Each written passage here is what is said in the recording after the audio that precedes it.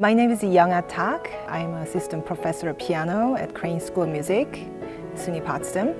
I'm also the area head for the piano program. We are all Steinway school, meaning that every single piano at Crane is um, Steinway. As a student, whether they are practicing or rehearsing or uh, taking lessons, basically playing in all Steinway, which is a very unique feature. We are very proud of our facility. We have Snell Recital Hall and Hosmer Hall, which are big concert halls, and also Wakefield Hall.